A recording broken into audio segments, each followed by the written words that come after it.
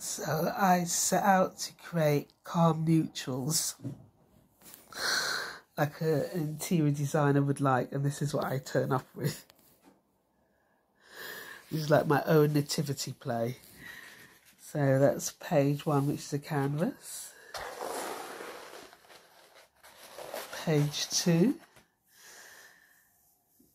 with the most gruesome looking teeth and my own design of plaid. Page three, underneath the poppy theme, and believe it or not, these are pink poppies, is love and freedom. But look at their expressions on what their take on it is. This is pink poppies and green hearts, accented by black. And then we have cut lining is one these characters that I created in my book and I just couldn't leave the theme alone. So here we are.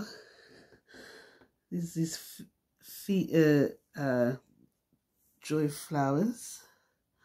And that's my nativity kind of that I didn't intend to create.